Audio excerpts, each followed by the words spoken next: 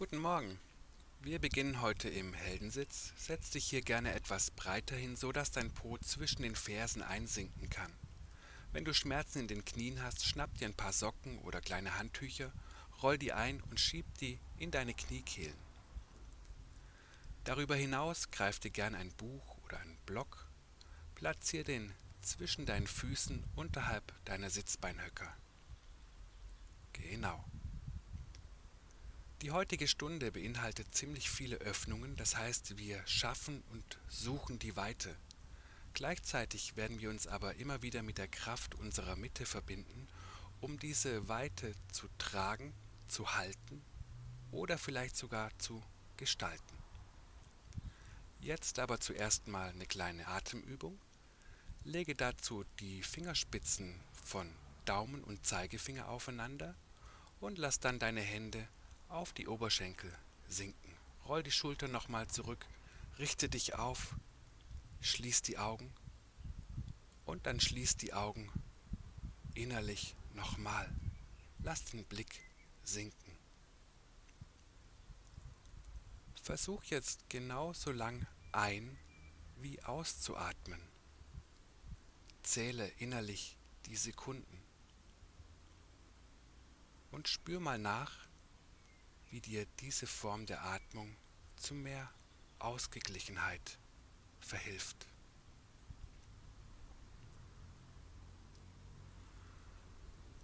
Wenn du möchtest, kannst du die Bewegungen der heutigen Stunde auch gerne sinnbildlich verstehen, indem du dir immer wieder vergegenwärtigst, dass das Öffnen, das Weite schaffen für ein Willkommenheißen dessen steht, was bereits ist, für ein Annehmen der Realität. Und dass die Kraft deiner Mitte dir dabei hilft, in einem zweiten Schritt nach dem Annehmen eben diese Realität zu gestalten. Mit der nächsten Ausatmung lass dein Kinn Richtung Brustbein sinken. Dann atme ein, heb den Kopf, halte drei Sekunden die Luft an. Und mit der Ausatmung senkst du das Kinn wieder ab. Drei Sekunden anhalten. Einatmen, heben, Luft anhalten. Ausatmen, absenken anhalten. Mach das ein paar Mal für dich. Einatmung und Ausatmung gleich lang. Zwischendrin jeweils drei Sekunden Atemverhalt.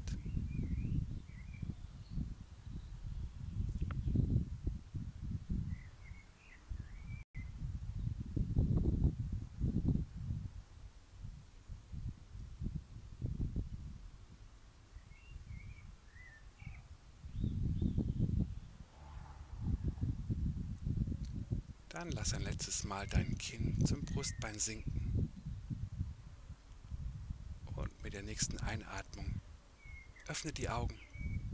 Leg die Hände ab. Wir wollen jetzt die Atmung mit einer kleinen Drehung verbinden. Dazu hebst du einatmend die Arme über die Seite. Ausatmend drehst du dich nach rechts, linke Hand am rechten Knie, rechte Hand am rechten Fuß. Einatmen. Heb die Arme wieder über die Mitte an. Ausatmen. Die Drehung nach links. Rechte Hand am linken Knie. Linke Hand am linken Fuß. Genauso nochmal. Einatmen. Die Mitte. Ausatmung. Die Drehung nach rechts. Einatmen. Die Mitte. Ausatmen. Die Drehung nach links. Einatmen. Schaff Weite. Ausatmen. Dreh dich zur Seite. Nochmal so. Einatmen. Komm hoch. Ausatmen. Dreh dich. Atme ein. Komm nach oben. Und ausatmend. Lass die Arme wieder sinken. Gut. Du kannst jetzt den Block rausnehmen und ans vordere Mattenende legen. Vielleicht brauchst du den dann nachher. Die Unterschenkel etwas enger zusammenlegen, sodass der Po nicht mehr ganz so tief sinkt. Und dann machen wir eine kleine Dehnungsübung zum Einstieg. Lass die Stirn sinken bis runter auf die Matte. Bring deine Hände nach vorne, einatmend. Und ausatmend krabbeln deine Finger jetzt weit nach rechts, bis zum Schluss nur noch die linke Hand weiter krabbelt und sich auf der rechten Hand ablegt. Lass den Kopf sinken und spür jetzt die Dehnung in deiner kompletten linken Seite. Bleib hier fünf Atemzüge.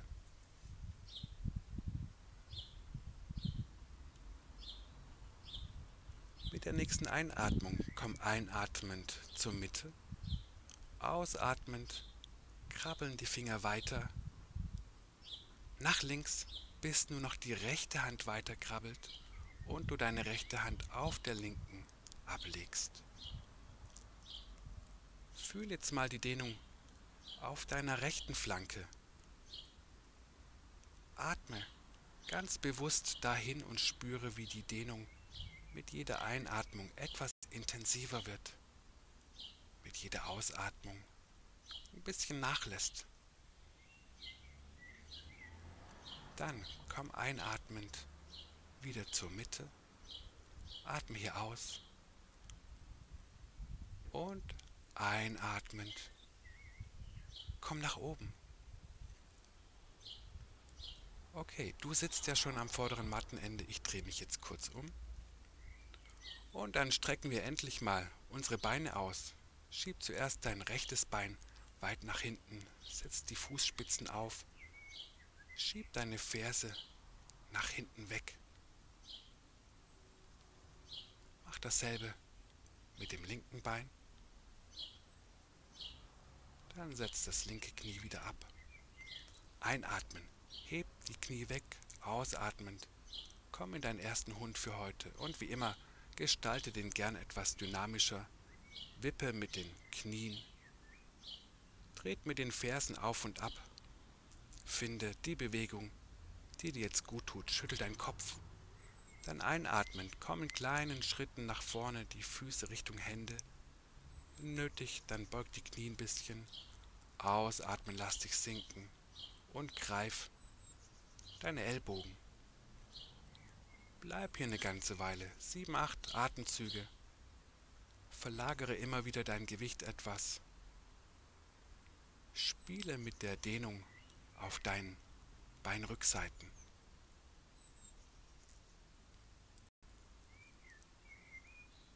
Dann mit einer Ausatmung lass die Hände zum Boden gleiten.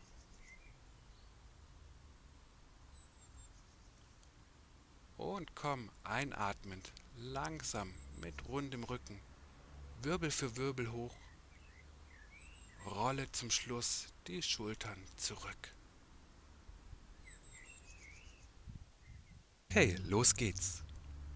Einatmen, Arme über die Seite heben, schau hoch zu den Daumen. Ausatmen, beug dich vor, setz die Hände ganz auf. Einatmen, linkes Knie beugt, rechter Arm hebt, schau hoch zur rechten Hand, öffne nach rechts.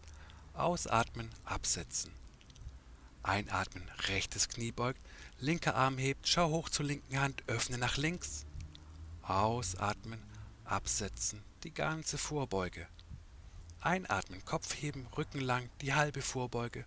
Ausatmen, linkes Bein zuerst, rechtes hinterher, über die schiefe Ebene, kontrolliert in die Bauchlage. Einatmen, Oberkörper hebt. Ausatmen, leg kurz die Stirn ab. Einatmen, schieb dich zurück den Po Richtung Fersen und ausatmen, Hund mit Kopf nach unten. Achtung, es geht direkt weiter. Einatmen, linker Fuß zur linken Hand, komm hoch, die einbeinige Vorbeuge. Ausatmen, setz den rechten Fuß weit nach hinten ab, linke Hand zum Knöchel.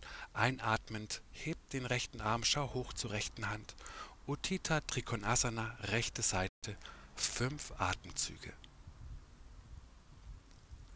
Mit der fünften Ausatmung schau runter. Einatmend, komm hoch. Ausatmen, linker Ellbogen aufs linke Knie, rechter Arm zieht nach vorne. Unsere Version von Uttita Parshvakonasana. Fünf Atemzüge hier. Mit der 5 schau nach unten.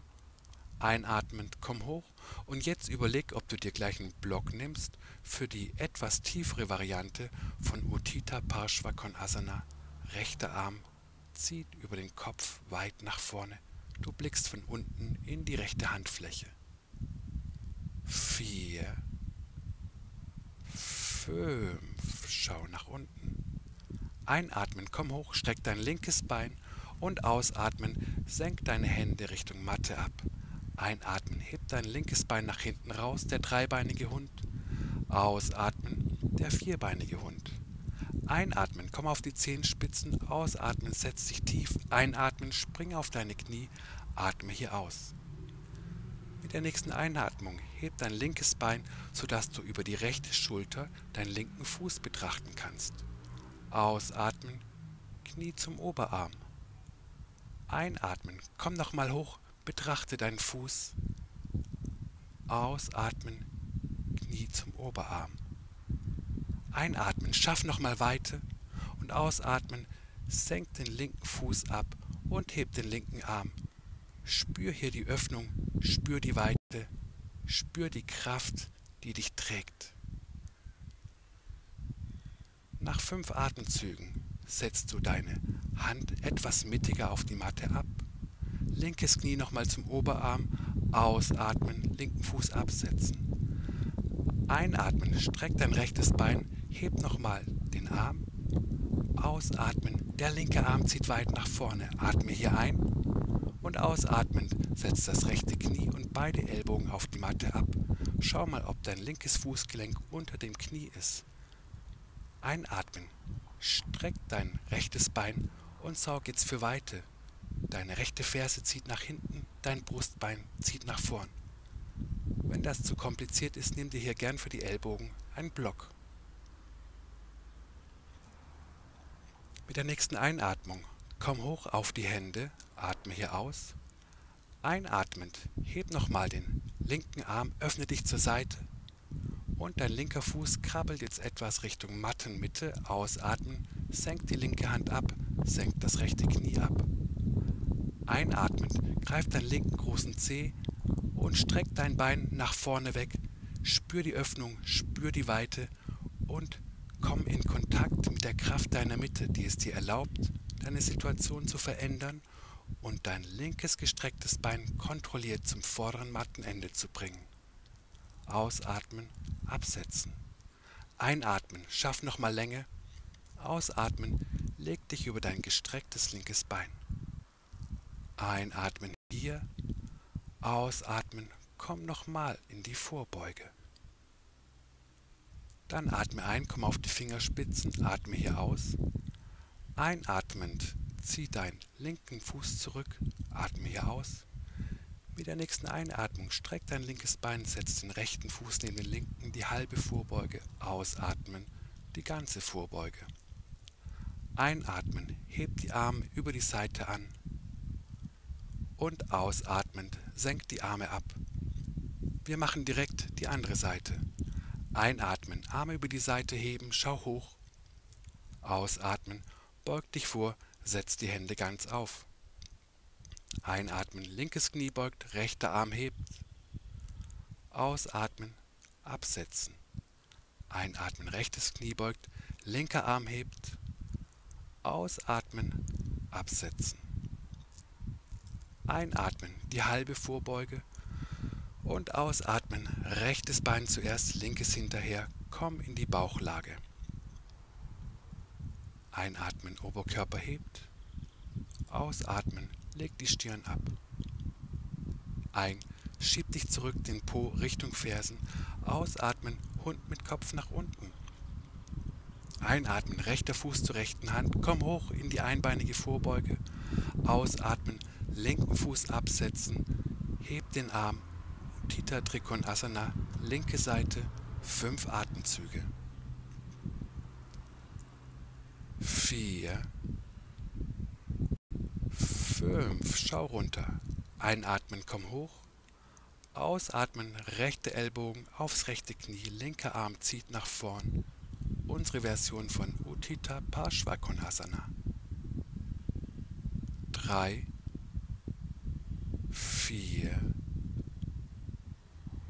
fünf. Schau nach unten. Einatmen, komm hoch. Überleg jetzt, ob du wieder einen Block zur Hilfe nehmen möchtest. Ausatmen Komm runter für die tiefe Version von Uttita Parshvakonasana. Schau von unten in deine Handfläche. Fünf Atemzüge hier. Schau runter. Einatmend. Komm hoch. Streck dein rechtes Bein. Ausatmend. Bring deine Hände zur Matte. Einatmen. Heb deinen rechten Fuß raus. Dreibeiniger Hund. Ausatmen. Vierbeiniger Hund. Einatmen, komm auf die Zehenspitzen, ausatmen und einatmen, spring auf die Knie, atme hier aus.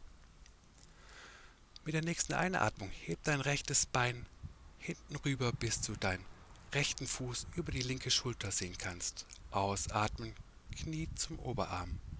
Einatmen, betrachte deinen Fuß über die linke Schulter. Ausatmen, Knie zum Oberarm. Nochmal so. Einatmen, Betrachte deinen Fuß. Ausatmen, Knie zum Oberarm. Einatmen, bring dein Bein noch mal weit rüber. Ausatmen, setz den rechten Fuß ab. Heb den rechten Arm einatmen. Spür die Öffnung, spür die Weite, spür die Kraft, die dich trägt. Nach fünf Atemzügen setz die rechte Hand etwas mittiger ab. Einatmen, rechtes Knie zum Oberarm, Ausatmen, rechten Fuß absetzen. Einatmen, linkes Bein strecken, rechten Arm heben. Nochmal Öffnung, nochmal Weite. Ausatmen, rechter Arm zieht nach vorne. Einatmen hier, ausatmen, setz dein linkes Knie und beide Ellbogen ab. Nimm dir eventuell einen Block für die Ellbogen zu Hilfe. Einatmen, streck dein linkes Bein und sorg jetzt wieder für Weite. Ferse arbeitet nach hinten, Brustbein arbeitet nach vorn. Mit der nächsten Einatmung komm hoch auf die Hände, atme aus. Einatmend heb nochmal den rechten Arm, dein rechter Fuß wandert Richtung Mitte, ausatmend setz die rechte Hand und das linke Knie ab. Achtung, viel Kraft, einatmen, greif deinen großen Zeh und streck dein rechtes Bein nach vorne weg, öffne dich, schaffe Raum und spür gleichzeitig wieder die Kraft deiner Mitte, die es dir erlaubt, die Situation zu verändern, eine andere Position einzunehmen. Bring den Fuß nach vorne. Atme nochmal ein, sorg für Länge. Ausatmend, beug dich über das rechte Bein. Einatmen hier, ausatmen. Komm nochmal in die Dehnung. Mit der nächsten Einatmung komm auf die Fingerspitzen Atme hier aus. Einatmen, zieh den rechten Fuß zurück. Atme hier aus. Einatmen, streck das rechte Bein, bring den linken Fuß neben den rechten. Ausatmen, die ganze Vorbeuge. Einatmen, heb die Arme über die Seite an. Und ausatmen, senke die Hände ab, leg die Daumen auf deine Brust. Gönn dir hier acht Atemzüge Pause. Atme tief und ruhig. Finde über die Atmung nochmal deine Mitte. Versuch wieder zu dieser ausgeglichenen Atmung zu kommen. Ein- und Ausatmung gleich lang. Zähle deine Sekunden.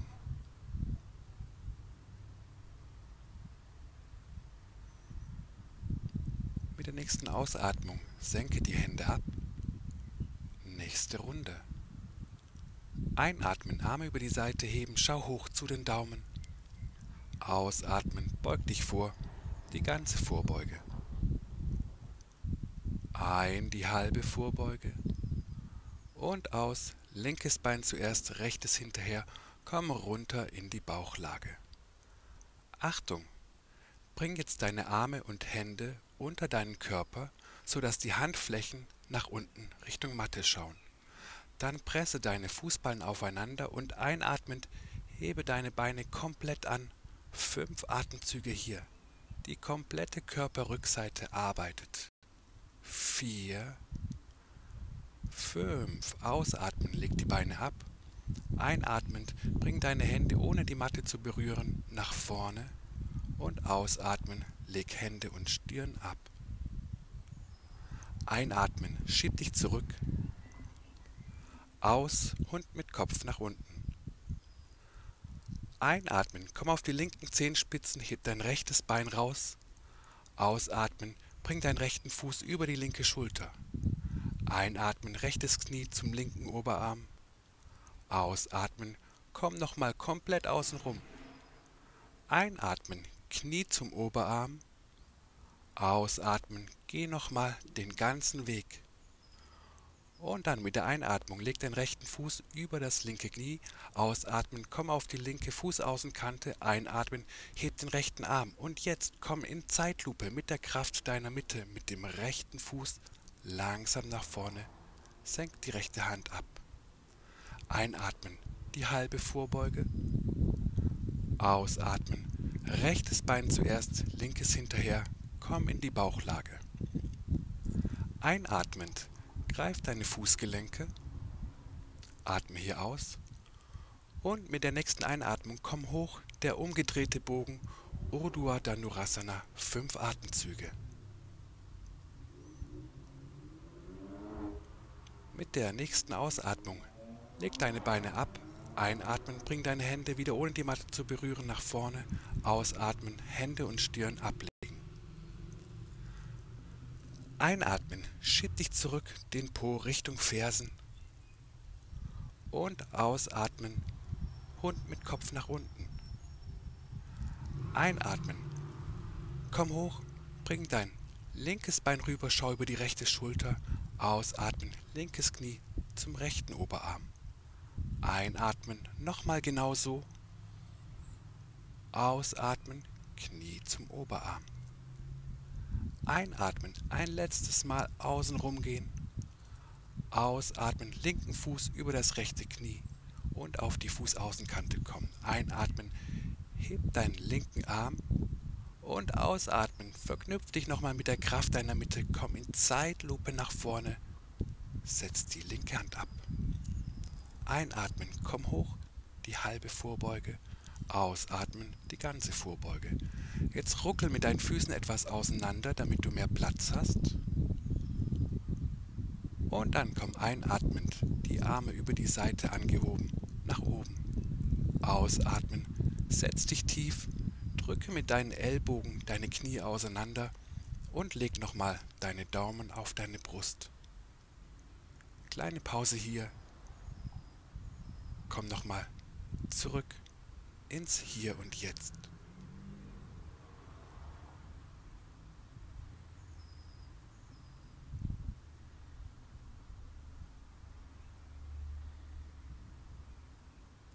Mit der nächsten Ausatmung senkt die Hände ab, dann komm einatmend hoch, leg die Hände nochmal zusammen und dann falte deine Finger hinter dem Steißbein. Einatmen, heb den Kopf, Brustraum öffnet, ausatmen, beug dich vor, zieh die Arme über den Kopf. Einatmen, rechtes Knie beugt, rechte Schulter zum rechten Knie. Atme aus. Einatmen, linkes Knie beugt, linke Schulter zum linken Knie. Atme aus. Nochmal genau so. Einatmen, öffne nach links. Ausatmen. Einatmen, öffne nach rechts. Ausatmen. Letztes Mal. Ein. Aus. Ein. Aus. Mit der nächsten Einatmung setz dich tief, streck die Arme nach oben und ausatmend komm in Zeitlupe runter, bis dein Po den Boden berührt. Dann atme ein. Navasana das Boot. Fünf Atemzüge hier.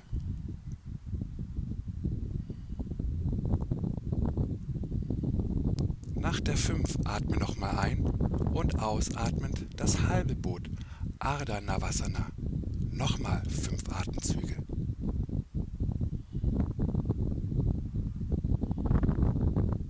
Dann mit der Einatmung. Komm nochmal hoch und ausatmend. Leg dich langsam ab.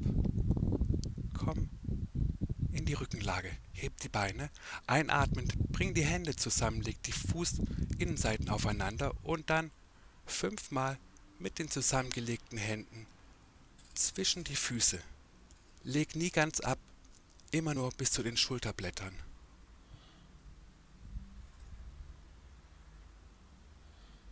Mit der Einatmung leg dann komplett ab, leg die Hände auf die gegenüberliegende Schulter und dann zieh fünfmal nur mit der Kraft deiner Bauchmuskulatur deine zusammengelegten Füße und Oberschenkel Richtung Schultern.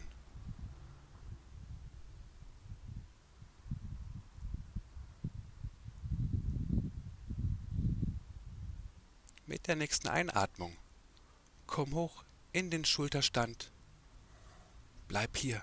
Ruckel deine Ellbogen noch mal etwas enger. Blickpunkt der Bauchnabel.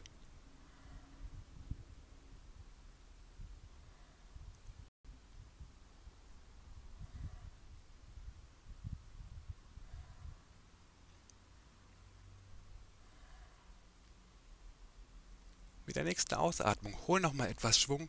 Komm hoch, Navasana. Atme hier ein und ausatmend setz die Füße ab. Leg dich ein letztes Mal in Zeitlupe nach hinten auf die Matte in die Rückenlage. Halte das. Viel Kraft aus der Mitte deines Körpers. Komm ganz langsam runter. Und dann leg die Arme schulterhoch seitlich weg.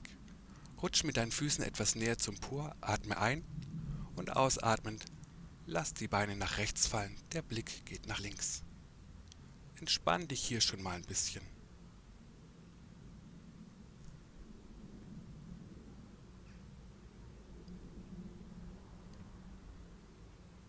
Einatmen, Knie und Blick zur Mitte, ausatmen, die Knie fallen nach links, der Blick geht nach rechts.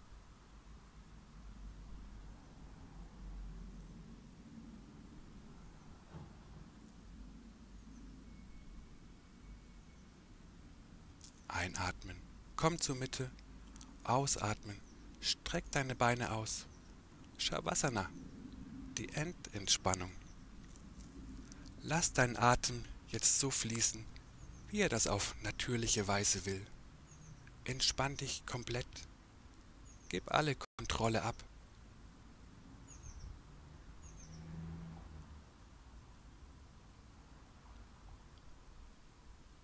Bleib hier so lange liegen, wie du möchtest, wie es dir deine Zeit erlaubt.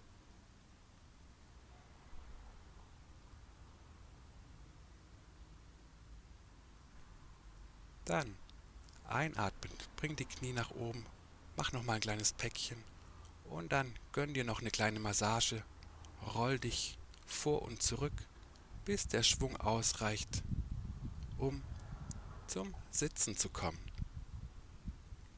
Puh, ich habe ganz schön geschwitzt hier in der prallen Sonne. Ich hoffe, dir hat es auch Spaß gemacht. Und denke, dass wir uns hoffentlich in einer Woche wiedersehen. Namaste. Bis dann.